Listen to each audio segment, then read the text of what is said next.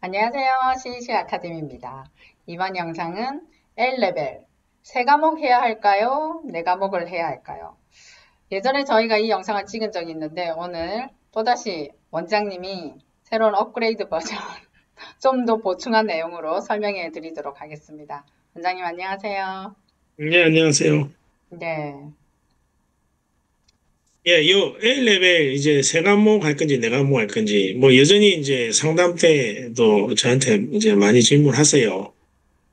그래서 이제 뭐 세 과목을 하면 이제 좋은 학생들, 뭐 반면에 네 과목을 하면 좋은 학생들. 자, 묻게요. 자, 세 과목을 해도 되는 경우는 최상위권 대학 비인기학과에 지원할 때는 가능합니다. 실제로 뭐 비인기학과들이 이제 보통은 이제 문과 계열에서는 경제 법 이게 다 인기이긴 한데 근데 대부분의 문과는 세 과목만 해도 됩니다. 그래 그렇게 해도 어 뭐 캠브리지 옥스퍼드 저기 합격하는데 전혀 문제가 없습니다. 네, 세 과목을 해도 그리고 중 이거 그러면요. 예, 중상위권 대학의 인기학과 지원 뭐 뭐세 과목 해야 됩니다. 어차피 중상위권 학과들은 어차피 그 우수한 애들이 많이 몰리는 데가 아니잖아요. 그래서 세, 대부분 학생들이 세 과목 합니다. 그런 데는. 그래서 세 과목 해도 되고요. 굳이 네 과목 안 해도 되고. 그 다음에 처음에 자기가 이제 네 과목을 선택할 때 뭐 어차피 세 과목은 무조건 해야 되잖아요. 그래 A레벨이 완성이 되니까. 근데 네 번째 과목을 도저히 할 게 없다. 그러면 굳이 네 과목 안 하고 세 과목만 해도 됩니다. 자, 이런 경우에 세 과목 해도 되고요. 그러니까 대부분의 경우에 세 과목 해도 됩니다. 자, 그럼 어떤 경우에 네 과목을 하는 게 좋을지 이것도 필수는 아니고 추천. 네 과목 하면 좋은 거 추천입니다.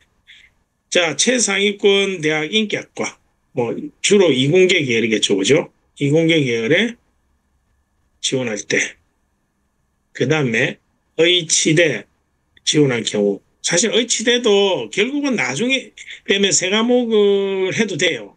근데 처음에 시작할 때는 네 과목을 해서 이제 어 그 뭡니까 이렇게 원서 유카스 대학 지원서 넣을 때 예상 점수를 세 과목 받는 것보다 네 과목 받아가지고 좀 넣는 게 좋죠. 나중에 이제 한 과목을 드롭하게 되더라도 처음에는 세 과목 하는 네 과목 하는 게 좋은 게 이제 해상위권 대학 인기학과 그 다음에 의치대.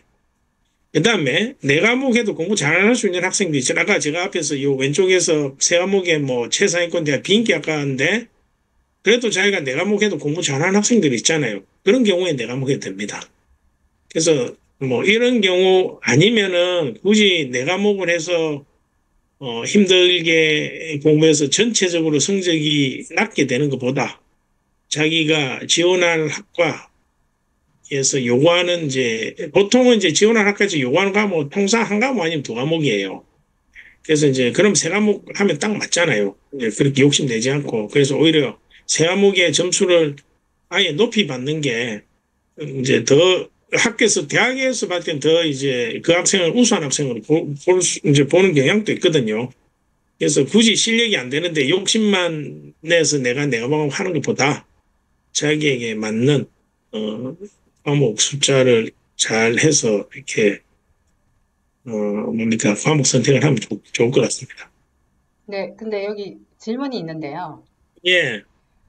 학교들 중에서 사립학교임에도 불구하고 내 과목을 선택 못하게 하는 학교가 있잖아요. 이런 경우는 어떻게 해야 될까요?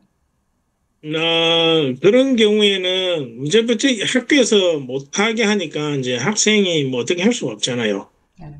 어, 이제 그런 경우는 있죠. 간혹 제가 받는 경우가 있는데, 이제 외국에 있는 A레벨 학교들이 잘 몰, 영국에 이제 이 시스템 잘 몰라서, 어, 제가 마, 많이도 받는 케이스인데, 그, 엔지니어링을 하는 학생들이, 이제 퍼드마스를, 아, 물론 엔지니어링에 이제 그 학교에 보면 엔지니어링이 필수는 아니, 아, 저기, 퍼드마스가 필수는 아니에요.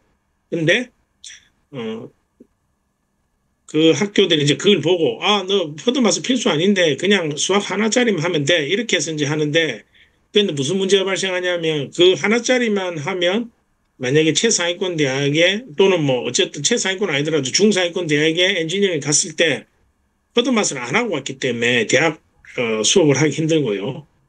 어, 그리고 만약에 최상위권 대학에 지원할 경우에는 이제 pre-interview 테스트 칠 때 그 공부가 준비가 안 되기 때문에 안 되고 그리고 최상위권 대학에서 필수는 아니지만 recommend 한다고 돼 있거든요. useful이나 recommend, useful이나 recommend라고 돼 있어요. 그래서 안 하면은 불리해요. 근데 그럴 경우에는 따로 이제 제가, 제가 어, 그런 학생들 많이 가르쳤거든요. 그래서 따로 그냥 그 학생 학교에서는 그렇게 세 과목만 하고 뻗어마스는 이제 자기가 과외로 수업을 들으면서 학교에서 시험만 칠 수 있게 등록만 해달라면 돼요. 그럼 학교에서 시험 칠 수 있거든요. 예, 그렇게 하는 방법이 있습니다. 알겠습니다. 네, 어, 원장님 설명 끝나셨나요? 예, 예. 네, 제가 말씀드린 내용 외에도 세 과목 할까, 네 과목 할까에 또 더 구체적인 질문들이 각 개인별로 많을 거라 생각하는데 더 질문 있으신 분들은 저희 여기 지금 개별 상담 원하실 경우 저희 홈페이지에 그 이메일과 그 연락처가 있으니까 가까운 곳 그리고 편한 곳으로 연락하시면 저희가 언제든지 성실하게 답변해 드리도록 하겠습니다. 설명해 주셔서 감사드립니다, 원장님. 예, 감사합니다. 네.